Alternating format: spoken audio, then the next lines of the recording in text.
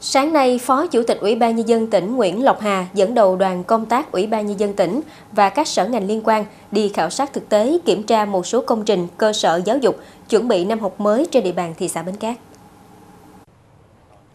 Theo báo cáo, thị xã Bến Cát có nhiều khu cụm công nghiệp, do vậy tình hình nhập cư tăng, dẫn đến số lượng học sinh cũng ngày càng tăng. Năm học mới dự kiến số học sinh trên địa bàn thị xã Bến Cát tăng so với năm học trước khoảng 3.000 em. Sĩ số học sinh tiểu học trung bình từ 45 đến 49 em trên một lớp. Vì thế, việc chuẩn bị cơ sở vật chất, phân bổ giáo viên đang là vấn đề được chính quyền và ngành giáo dục quan tâm. Về đội ngũ giáo viên, hiện địa phương chỉ mới tuyển được 32 trên 190 chỉ tiêu trong năm học mới. Khảo sát thực tế 4 điểm trường cho thấy, bằng nguồn vốn 16 tỷ đồng đầu tư của Ủy ban Nhân dân thị xã, các trường đã từng bước hoàn thiện việc nâng cấp, sửa chữa cơ sở vật chất, các phòng học. Dự kiến trước ngày 20 tháng 8 2023, các trường sẽ hoàn tất công tác chuẩn bị cho khai giảng năm học mới. Tuy nhiên, tổng quan địa phương cần xây mới, mở rộng 6 điểm trường để đáp ứng yêu cầu năm học mới và thời gian tới.